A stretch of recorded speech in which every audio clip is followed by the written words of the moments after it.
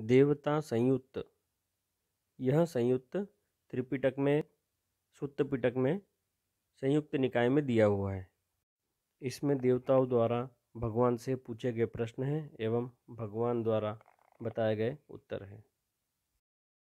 देवता भगवान से प्रश्न करते हैं, भगवान, क्या देने वाला बल देता है? क्या देने वाला वर्ण देता है? क्या देने वाला सुख देता है? एवं क्या देने वाला चक्षु देता है। तब भगवान उन प्रश्नों का प्रत्युत्तर करते हैं। अन्न देने वाला बल देता है, अर्थात अन्न के दान से दाता को बल, शक्ति, सामर्थ्य मिलता है। वस्त्रों का दान करने से वर्ण प्राप्त होता है, सुंदरता प्राप्त होती है। वाहन यानी सवारी दान करने से सुख प्राप्त होता है, तथा प्रदीप या रोशनी दान करने से चक्षुर्दान प्राप्त करता है।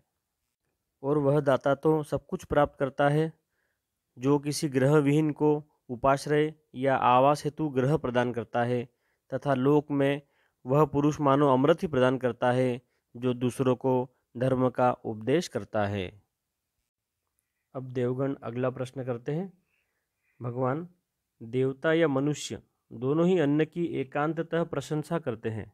ऐसा कौन यक्ष देवता या प्राणी होगा जो अन्न की प्रशंसा न करता हो।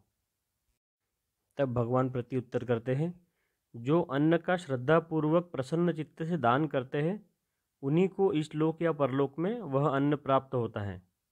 अतः स्वहितेशी पुरुष को मात्सर्य या कंजूसी का परित्याग कर यह ध्यान अवश्य करना चाहिए, जो कि इस लोक में पाप निवारक भी है तथा पुण्य फलदायक भी है, जिनके सहारे से प्राणी परलोक में स्थायी निवास प्राप्त करता है। अब देवगण अगला प्रश्न करते हैं। भगवान, कैसे व्यक्तियों का पुण्य रात और दिन बढ़ता रहता है? एवं कैसे धर्मारूढ़ एवं शील संपन्न व्यक्ति सुगति को प्राप्त होते हैं? इस प्रश्न का भगवान प्रत्युत्तर करते हैं।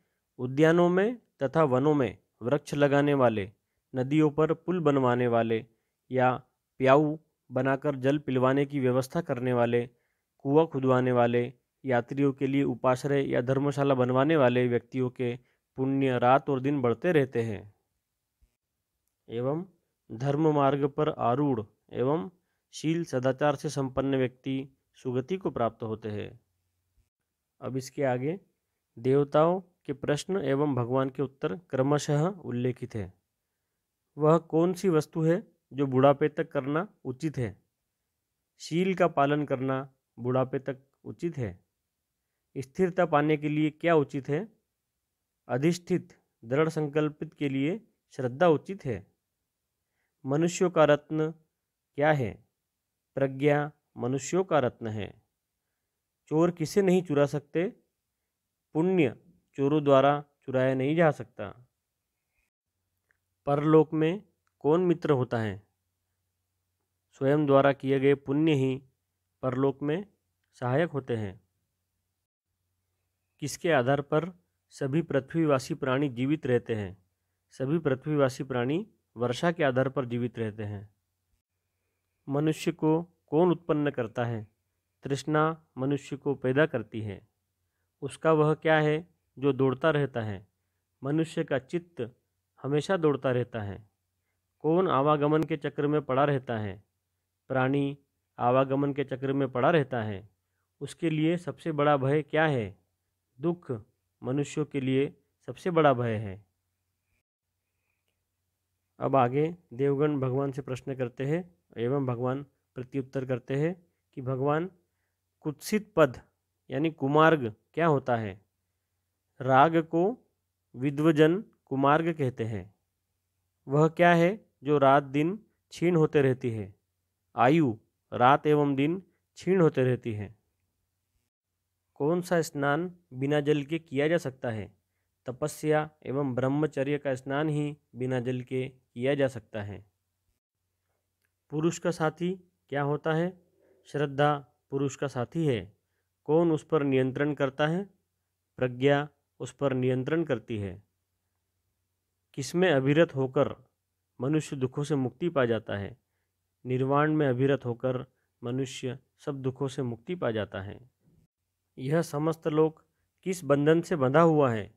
यह समस्त लोक तृष्णा के बंधन से बंधा हुआ है। अब आगे क्रोध के ऊपर प्रश्न उत्तर है। किसको काटकर मनुष्य सुखपूर्वक सो सकता है? क्रोध को काटकर ही मनुष्य सुखपूर्वक सोने में समर्थ हो सकता है। किसको काटने के बाद वह शोकमग्न नहीं होता? क्रोध को काट देने पर मनुष्य को शोक संविन्न होने का कोई अवसर नहीं आता। हे गौतम, अब आप हमें यह भी बताइए कि आप किस एक धर्म का नाश करने का उपदेश करते हैं। हे देवता, वर्तमान में मीठा लगने वाले, परंतु परिणाम में विष तुल्य क्रोध का, वध या नाश ही आर्यजनों द्वारा प्रशस्त माना गया है। उसके नष्ट होने पर मनुष्य कभी शोक संविघ्न नहीं होता।